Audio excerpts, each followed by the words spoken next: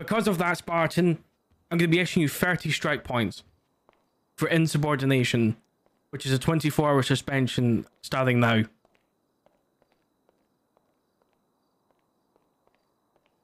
I want you to take this time to learn and better yourself to become a better person.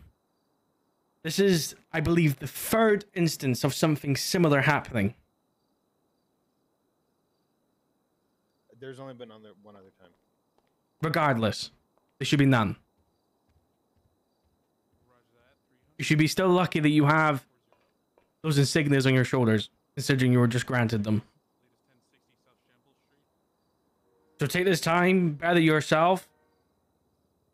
I, I'm not saying what Spartan did was okay, but what you did was far worse.